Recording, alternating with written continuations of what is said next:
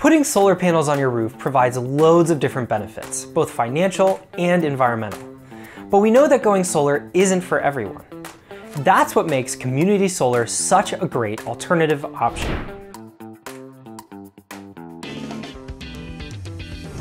If you either can't or don't want to put solar panels on your rooftop, community solar is a great way to participate in the clean energy revolution and save some money by doing so all without putting solar panels on your roof. Here's what you need to know about how community solar works. Community solar projects are large, centralized solar power installations whose electricity is shared by more than a single property. For that reason, community solar is often also referred to as shared solar or solar gardens. To participate in community solar, all you need is an electricity bill and to live in an area with virtual net metering and available community solar program.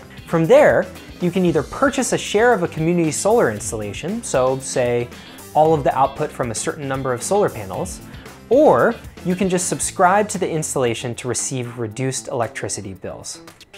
You'll still have your main electricity bill from your utility, but it will be reduced by a certain amount by participating in community solar.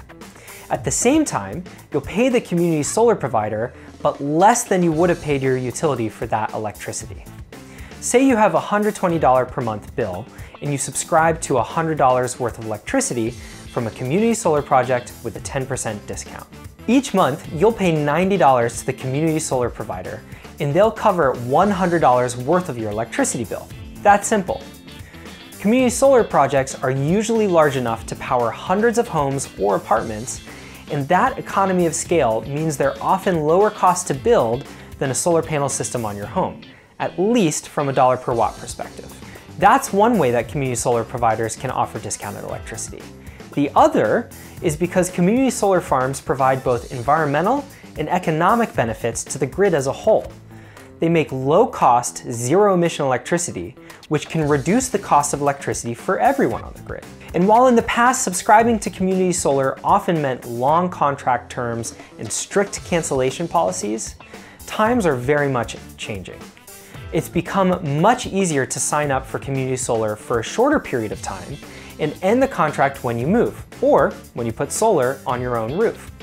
One important thing to note is that community solar still isn't available everywhere in the US. To see if it's available in your area, head to the EnergySage Community Solar Marketplace at communitysolar.energysage.com today to compare your project options and see how much you can save through community solar. Thanks for watching. Let us know in the comments what other questions you have about all things home energy, and be sure to like and subscribe so you don't miss any of our videos.